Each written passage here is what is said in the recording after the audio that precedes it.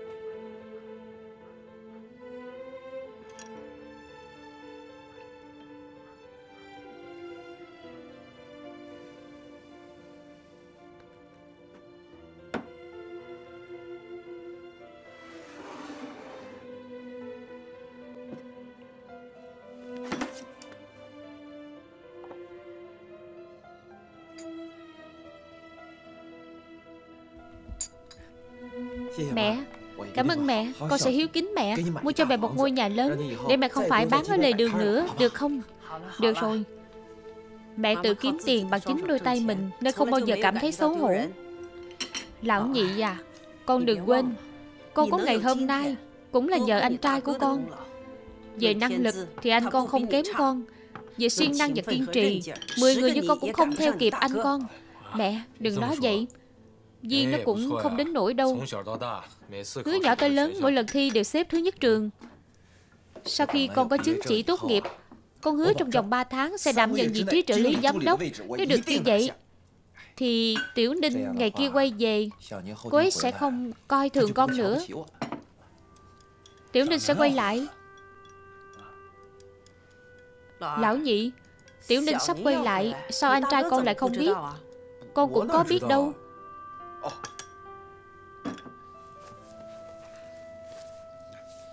Nhưng mà cô ấy đã gửi cho con một bức thư.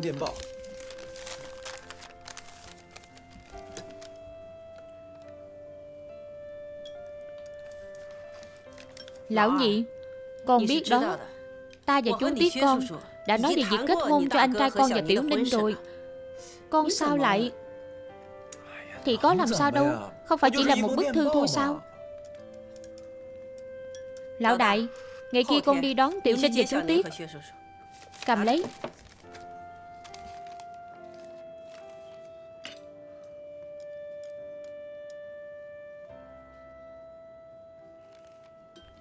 Ngày kia Con có việc rồi. Em đi đi. Được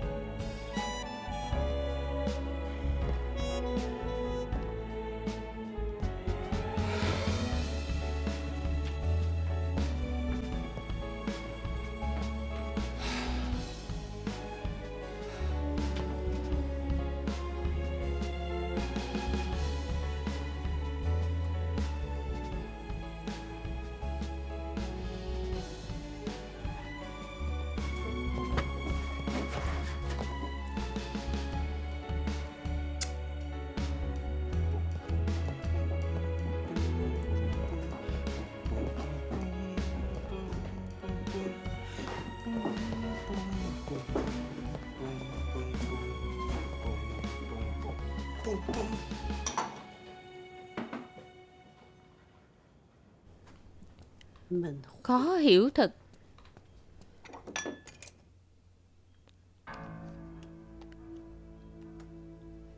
Xúi dục Lâm Thế An.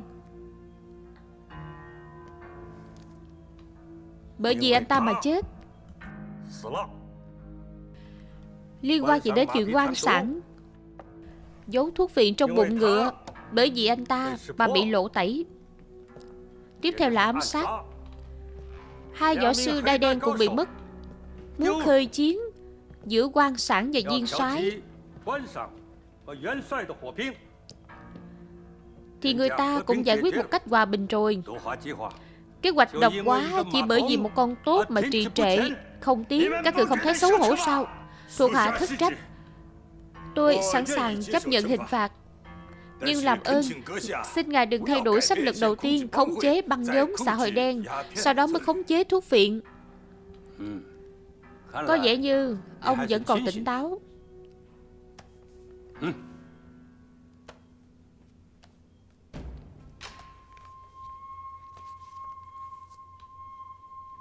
Điều này Viên soái Là con trai của viên Bảo Sơn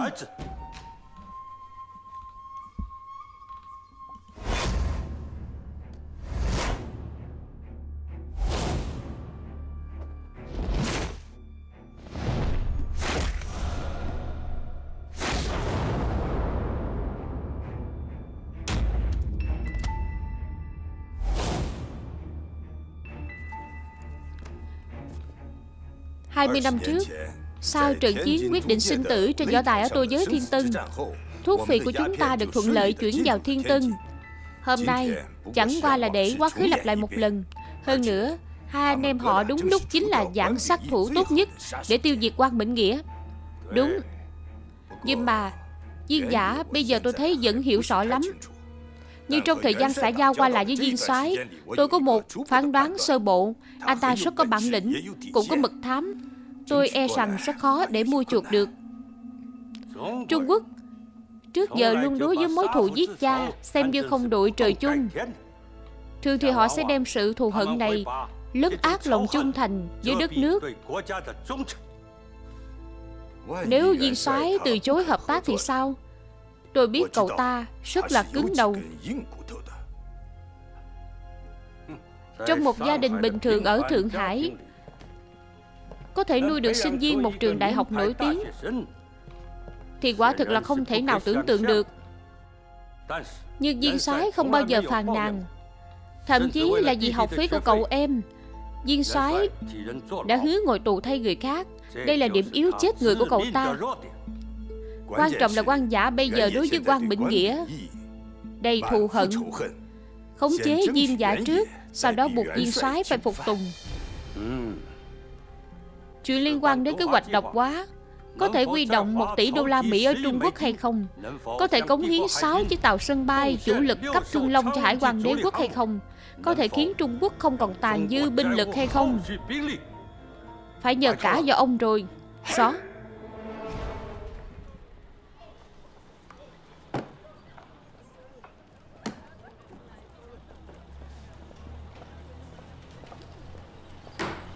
Ký tên. Điểm chỉ.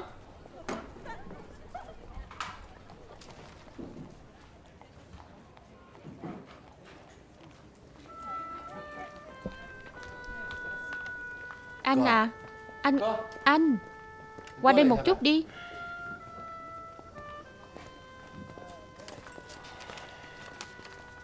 Anh đến ký tên đi. Đến lúc anh cược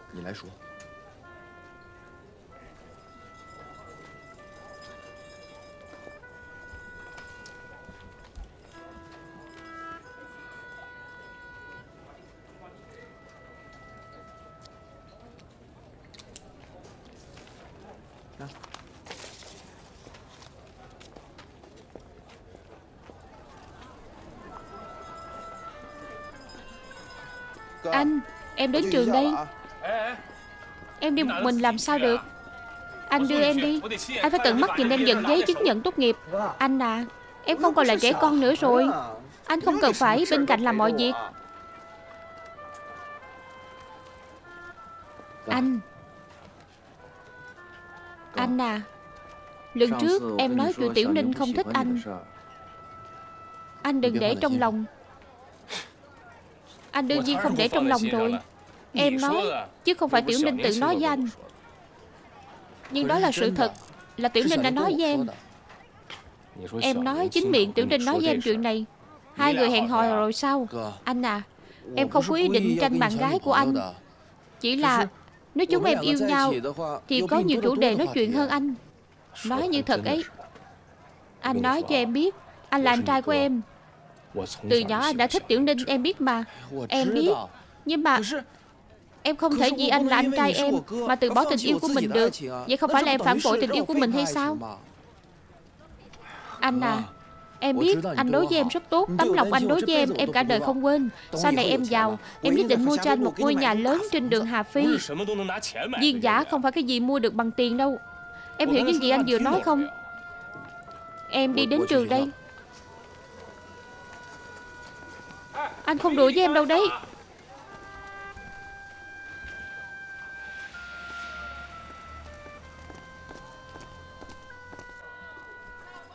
Bán báo đây, bán báo đây.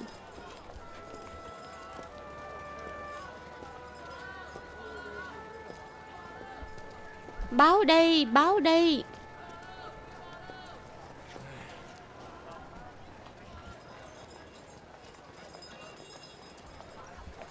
Báo đi.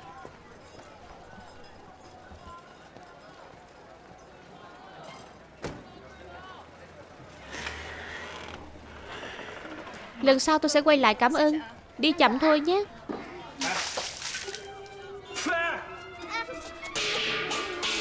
Anh không sao chứ?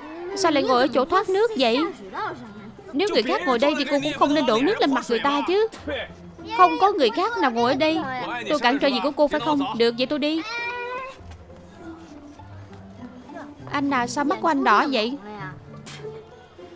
Là cô vừa đổ nước đấy. Không, không thể nào. Nhìn anh kìa Có mà vừa khóc thì có. Sao, có chuyện gì? Có phải vì Tiểu Ninh không? Quế nói không thích anh. Thích diễn giả chứ gì? Thực ra chúng tôi đã sớm nhìn ra rồi. Chỉ là có mỗi anh không nhìn thấy. Điều đó có nghĩa là cô nói tôi là người ngu ngốc nhất thế giới. Có phải không? Rất, rất bình thường. Những người đang yêu đều như vậy cả. Giống như tôi.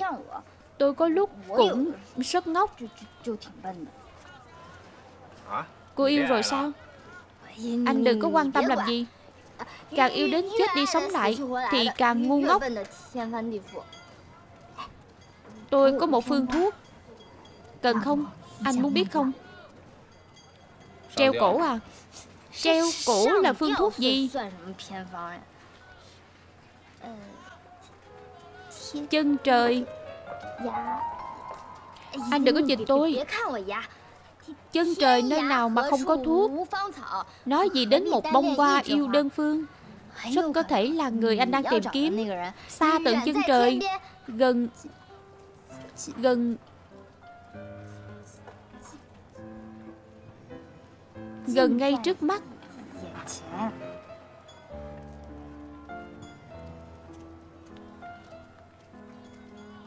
Cô sao? Không. Không phải đâu.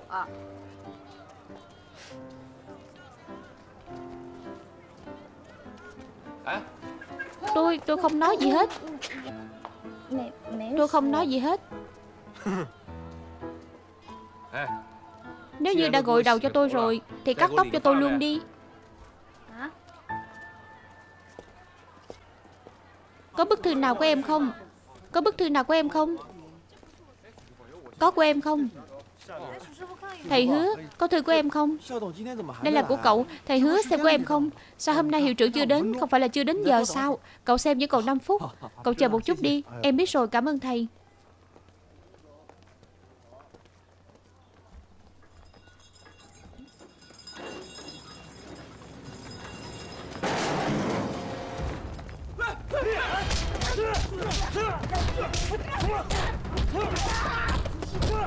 Các người làm gì vậy? Dừng tay, Các người làm gì vậy? Tha cho tôi đi. Các người làm gì vậy? Đừng lấy tiền của tôi mà. Tiền của tôi, Đừng lấy tiền của tôi mà. Đi chết đi.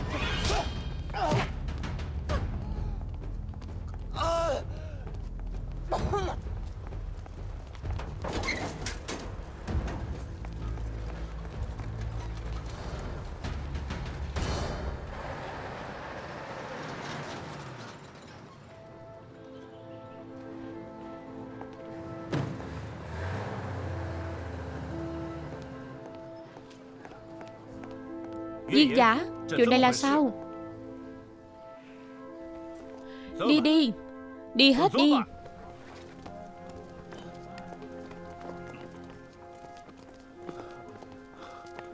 Hiệu trưởng Dũng dĩ Dũng dĩ là em mang tiền để nhận bằng tốt nghiệp. Nhưng không biết có đám người từ đâu tới Đánh về một trận Rồi cướp hết tiền của em. Thầy hứa băng bó nhanh cho cậu ta Đưa cậu ấy đi khám bác sĩ. Tới phòng y tế. Hiệu trưởng à hiệu trưởng. Hiệu trưởng. Em cầu xin thầy. Thầy có thể đưa bằng tốt nghiệp cho em trước Cho em mượn đi. Em đi ký hợp đồng với Vinh Sương. Sau khi ký hợp đồng xong Em trả lại tiền và cả lãi cho thầy. Điều này vi phạm nội quy của nhà trường. Hiệu trưởng Em cầu xin thầy. Tôi cho cậu thêm hai ngày. Nhớ là hai ngày sau nếu lại không có tiền Tôi sẽ về nước đấy.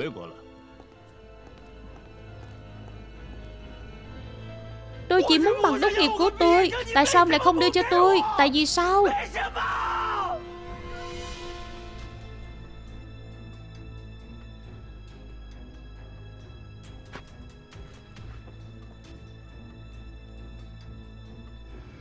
Tôi chỉ muốn bằng tốt nghiệp. Khó đến vậy sao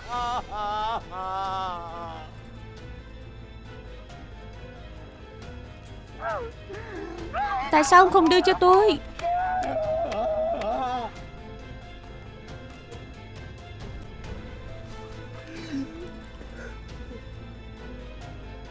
Thế giới này, Tôi biết rồi. Chỉ có tiền là dạng năng.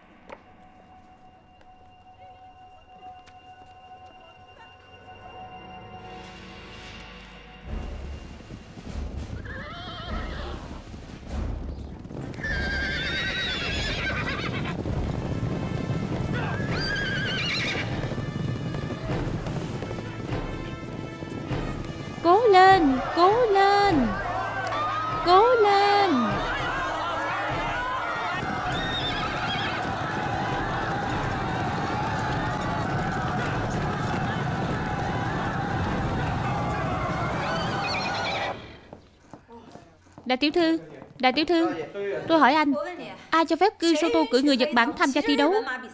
Kisoto cầm giấy báo cáo của Cục Công bộ tôi giới công cộng. Ông quan đồng ý rồi. Lính Nhật đánh không lại. Ngay cả ngựa Nhật cũng chạy không qua. Tại sao các người còn đứng đây?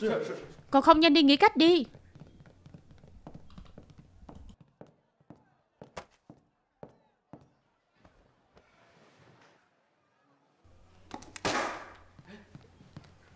Đại tiểu thư, sao cô lại ở đây? Chú Kiệt, chú đến thật đúng lúc. Chú đi kiểm tra trường ngựa bày biển lớn nhỏ. Không được lại xuất hiện ảnh của Lâm Thế An nữa. Tôi thấy người này thì không còn tâm trạng làm việc. Không phải ý của cô là muốn đến đây làm việc sao? Không được à? Không phải, công việc của trường ngựa rất lộn xộn, chuyện lớn nhỏ đều có. Cái gì mà công nhân đánh nhau, người đua ngựa tranh giành danh vị, rồi ngựa bị ốm. Việc nhỏ như vậy chú quản, việc lớn tôi quyết định. Chú Kiệt, Chú Kiệt Ngựa của người Nhật lại thắng rồi. Cố lên Cố lên.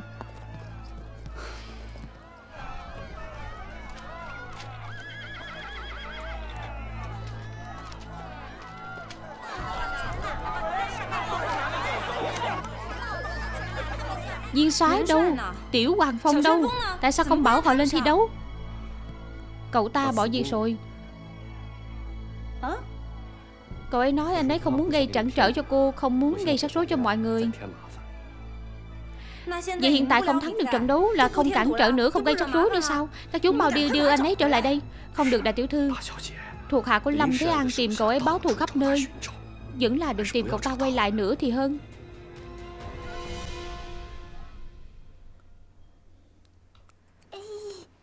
Sắp xong rồi Đã hơn 3 tiếng rồi đó. Còn bao lâu nữa? Sắp xong rồi Đây là lần đầu tôi cắt tóc cho người khác lâu như vậy. Được rồi.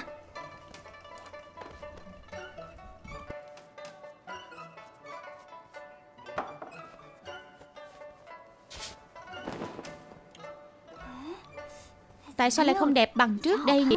Để tôi sửa lại cho anh. Được rồi, được rồi. Đã cắt đẹp lắm rồi. Tôi bỏ việc rồi? Tôi sắp phải bái cô làm thầy? Tay nghề của cô rất tốt. Được, được, được. Anh ở chỗ tôi coi như tìm đúng đường sống rồi. Nếu không thì anh sớm muộn Cũng bị tiểu quá. phụ quan sản đó Hành hạ cho tới chết. Đừng nói khó nghe như vậy. Tiểu quá phụ cái gì? Chính là tiểu quá phụ. Anh không phải là làm cho cái tên họ Lâm đó. Chết rồi sao Là ngộ, ngộ sát. Anh bắt trước tôi. Anh ấy Sau này cứ ở chỗ của tôi đi. Tôi nuôi anh. Cô nuôi tôi. Nói cho cô biết này Tôi muốn chuộc lại chiếc vòng tay của mẹ tôi. Tôi có thể nhận được bao nhiêu một tháng ở đây làm với cô? Tôi phải làm đến đời nào kiếp nào? Chỉ trách viên giả. Một người học hành Cả nhà vất vả Anh cũng đừng lo lắng quá. Tóc này của anh Ở đây Tôi đoán là anh đang ở đây. Tiểu thư Cửa hàng chúng tôi đóng cửa. Mau đi đi. Anh ta sao lại ở đây được? anh ta không phải là khách Mà là nhân viên ở đây. Nhân viên? Tìm được bà chủ mới nhanh như vậy sao Không ra làm sao hết. Cô muốn làm gì? Tôi đến đây để nói cho anh biết. Anh bỏ việc tôi chưa đồng ý. Mau quay lại làm cho tôi. Dập tắt uy phong của cư Soto Tôi sẽ tăng lương cho anh. Tôi bây giờ đã có công việc mới rồi. Công việc gì? Thợ cắt tóc. anh biết cắt tóc. Đương nhiên rồi, chả có gì là không biết. Lúc tôi ở trường ngựa ngày nào và chả sửa lông ngựa, bờm ngựa, sửa cả đuôi ngựa Tôi còn biết bệnh tóc đuôi ngựa. Nữa Vậy được, cắt tóc cho tôi đi phải thật tự nhiên và sống động. Cắt đẹp thì anh ở lại làm thợ cắt tóc của cô ta, Không đẹp thì về làm người đua ngựa với tôi. Không sao không sao. Đại tiểu thư, Cô dám để đôi tay tỉa lông cho ngựa cắt tóc cho cô sao? Dám chứ? Hay để tôi làm cho? Tôi biết làm.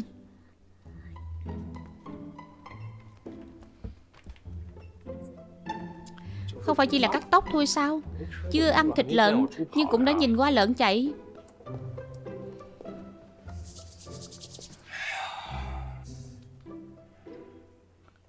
Anh muốn làm gì? Lấy sai rồi sao?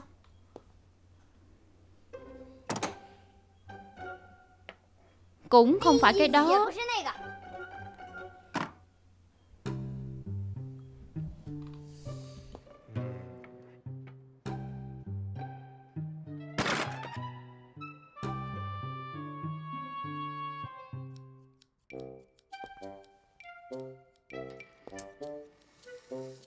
Nghĩ xem tôi sẽ làm cho cô kiểu tóc nào. Cô nói đi. Hay đơn giản.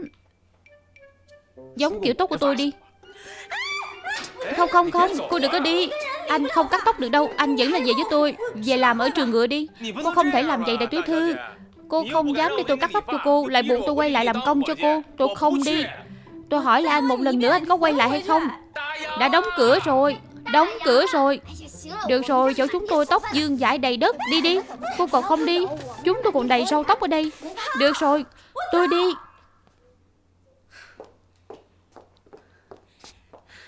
Anh đừng tưởng tôi nhân nhượng với anh. Thực sự là bởi vì tôi không thể thua sao? Trung Quốc thua một lần nữa rồi. Tôi có gì mà không thể thua chứ? Tôi sợ anh rời khỏi sự bảo vệ của trường ngựa Bị thuộc hạ của Lâm Thế An bắt đi cho chó ăn đấy.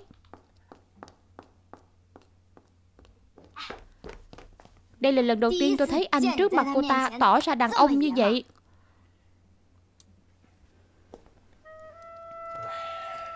Cô ấy cũng có lòng tốt. Có lòng tốt nhưng không biết ăn nói. Cô nói xem tôi có nên quay lại hay không đây. Anh đó Anh vẫn muốn quay lại sao? Thật đúng là hết thuốc chữa. Tôi không nuôi anh nữa.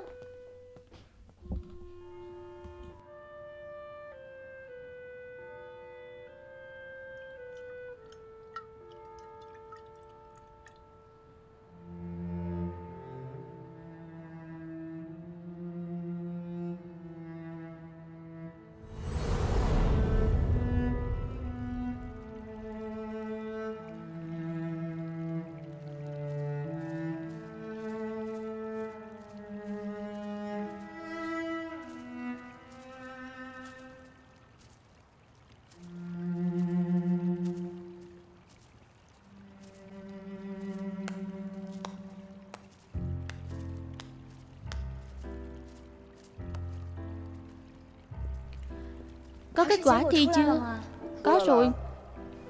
Kết quả thi thế nào? Nếu như không đứng đầu Thì anh làm sao có mặt mũi qua đây? Nghe tiếng đàn của em chứ.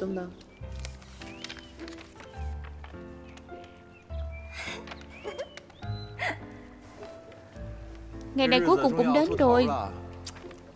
Đợi sau khi em học diễn xuất quay lại Anh nhất định sẽ làm ở một công ty tốt nhất ở Thượng Hải Làm trợ lý giám đốc rồi đi đón em. Được không? Anh có phải hơi dội vàng rồi không? Tiểu Ninh Cái này làm sao có thể gọi là gấp gáp được chứ? Em nghĩ mà xem. Nếu không có tiền Không có địa vị Không có chức vụ trợ lý giám đốc. Anh làm sao có thể nói với anh trai một cách tử tế? Người anh yêu là Tiết Tiểu Ninh cơ chứ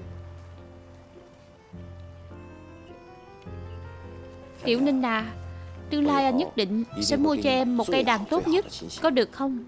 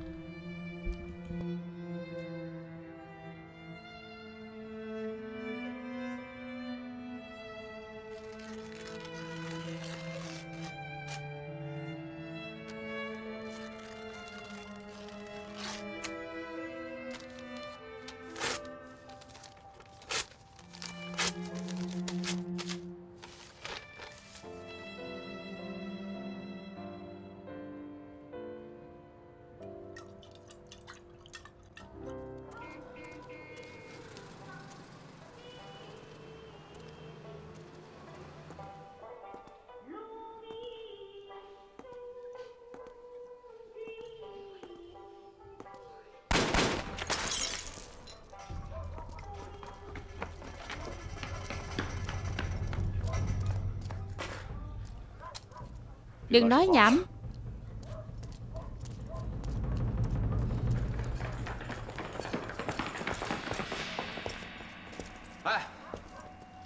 Có nhìn thấy tên buôn ma túy nào không? Nhìn Nhìn thấy rồi. Đằng nào? Đằng đó à? Đi. Nhanh lên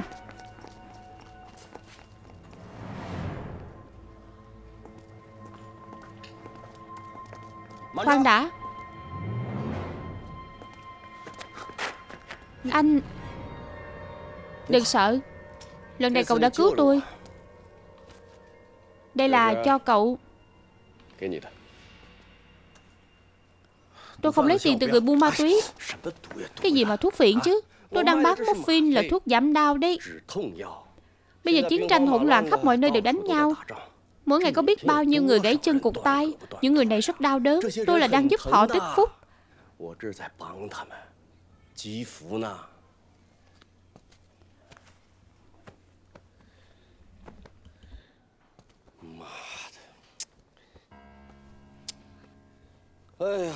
Tôi đã làm dở hai lọ này. 200 tệ mất rồi. Không phải. Hai cái lọ này mà giá 200 tệ sao? Còn không phải sao? Nếu tôi biết cách tạo ra cái này Có thể kiếm được 400 tệ đấy.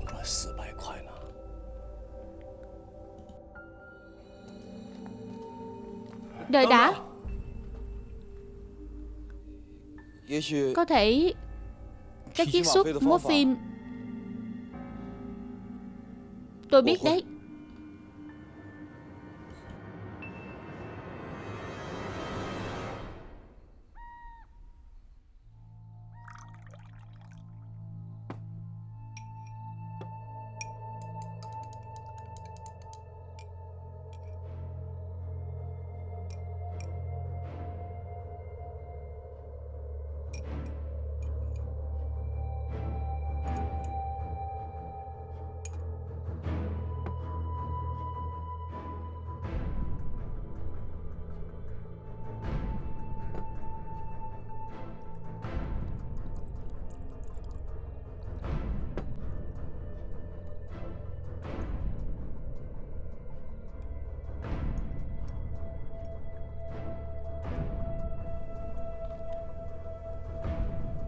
Tôi muốn natri oxy chlorua và ammoni chlorua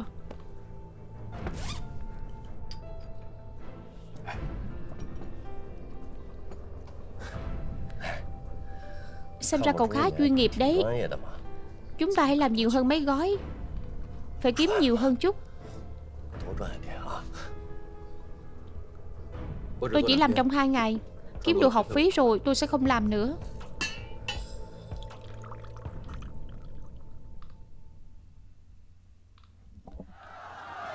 Cố lên Cố lên Cố lên Cố lên.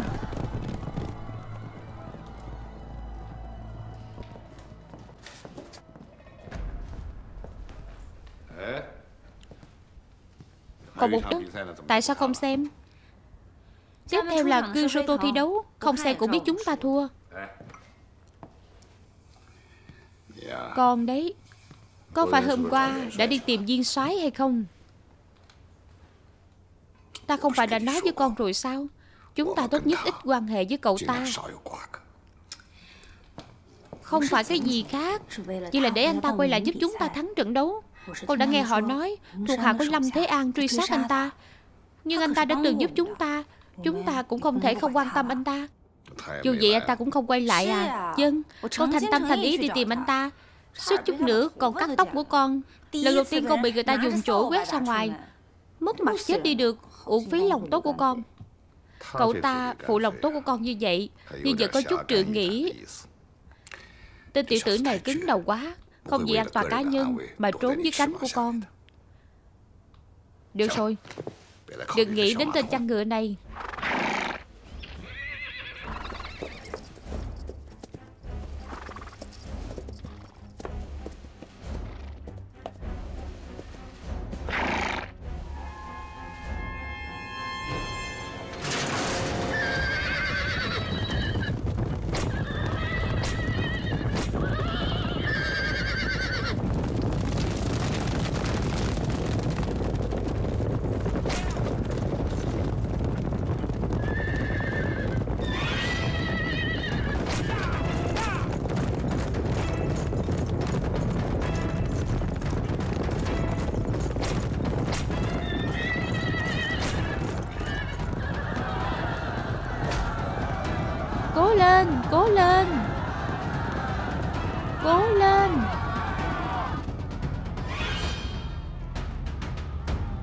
Hôm nay Tiểu Hoàng Phong thi đấu không tồi. Đã đổi mấy người cưỡi rồi, Chỉ 300 mét đầu là chạy được, Phía sau thì không ra gì nữa.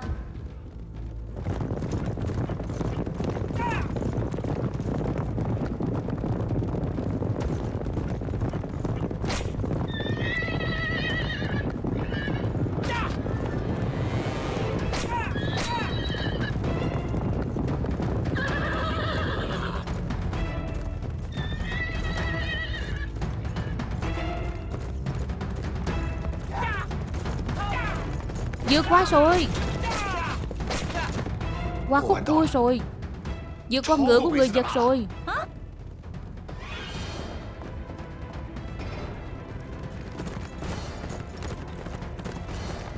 Viên sái Lão quan Cha mời anh ấy đến rồi à. Còn mời cậu ta không đến Ta mời lại đến được sao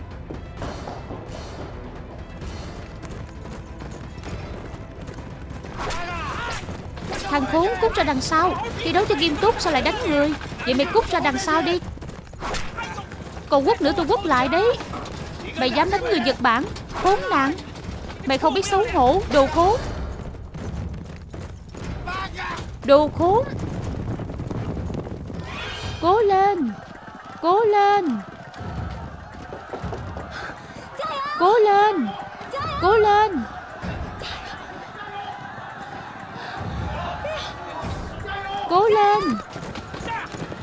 Chạy nhanh lên, chạy nhanh lên. Anh ta đuổi theo, vẫn phải quất đấy. Chạy nhanh lên. Nhanh lên. Cút ra đằng sau. Vẫn chưa xong đúng không? Cút ra đằng sau. Không cho anh bài học. Anh không biết sự nhẫn nại của tôi có phải không? Tiểu Hoàng Phong Đã chết anh ta đi.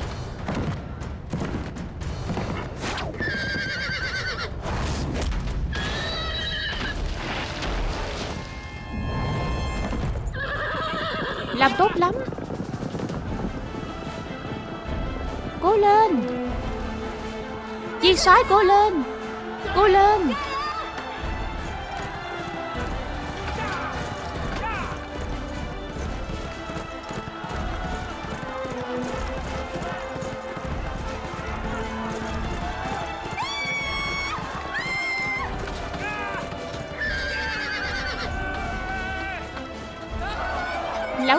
Quan nhìn thấy chưa? Viên sái thắng rồi. Anh ta xếp thứ nhất đấy.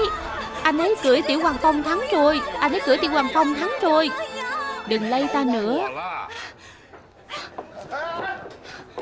Con đi đâu vậy? Theo quán lệ, người đứng thứ nhất Phải đeo vòng hoa. Con đi tặng hoa cho anh ấy. Con là đại tiểu thư nhà hậu quan. Con là chủ ở đây. Những chuyện này có tiểu thư lễ nghĩa làm rồi. Con có tặng hoa cho người khác bao giờ đâu. Cha con cũng chưa từng tặng bao giờ. Cha ghen tị sao? Cha không nghĩ rằng con thích anh ấy đấy chứ. Cái đó thì ta không biết được. Dù sao ta chỉ biết đồng vĩnh năng có thể nuôi được 7 cô tiên nữ. Tên tiểu tử này không nuôi nổi con đâu. Con không làm bảy nàng tiên con đi tặng hoa đây.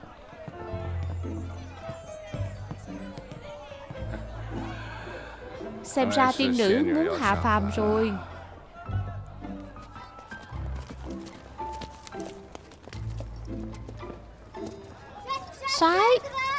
à soái Soái Anh soái tử. Anh soái tử. Có chuyện gì? Tối qua anh ngủ trong chuồng ngựa Viên giả tới giờ vẫn chưa trở về. Mẹ anh đang sốt ruột kia kìa. Đi tìm khắp nơi rồi. Viên giả không phải đến trường lấy bằng tốt nghiệp rồi sao? Chúng tôi đã đi tìm qua rồi. Họ nói anh ấy bị cướp hết tiền. Bị cướp hết tiền. Bị ai cướp? Tôi không biết cái này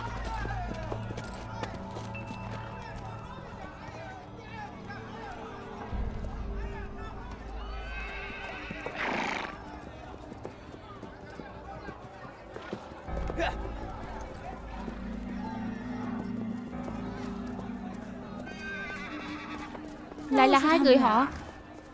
Lần thứ hai rồi.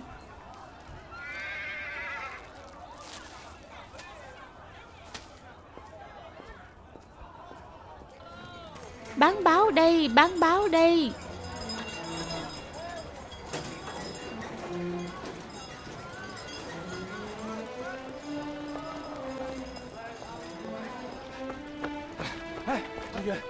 Bạn học cậu có thấy viên giả đâu không? Không thấy, không nhìn thấy.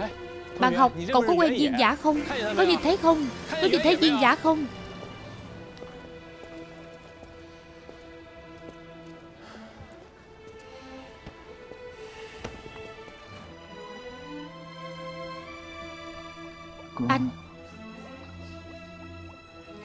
là lần cuối. Đây thực sự là lần cuối cùng. Anh đừng nói với Tiểu Ninh bà Anh đừng nói